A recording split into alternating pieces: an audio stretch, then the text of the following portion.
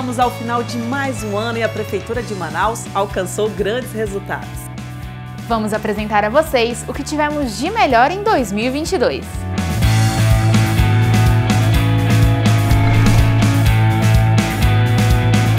Já a Fundação Dr. Thomas desenvolveu ações estratégicas capazes de garantir os direitos sociais da pessoa idosa no município de Manaus e assegurar a promoção de sua autonomia, integração e participação efetiva na sociedade.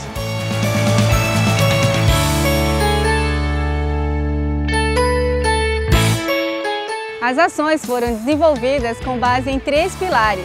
O programa Conviver, que oferece atividades aos frequentadores do Parque Municipal do Idoso, o Programa de Atendimento Domiciliar Idoso, PAD, que realiza visitas domiciliares com uma equipe multiprofissional, e o Programa Longa Permanência, que presta assistência em caráter asilar à pessoa idosa. Desejamos um 2023 repleto de alegrias e novas conquistas. Continuaremos trabalhando com dedicação e compromisso para construir uma nova Manaus a quem mais importa, você. Feliz Ano Novo e até logo!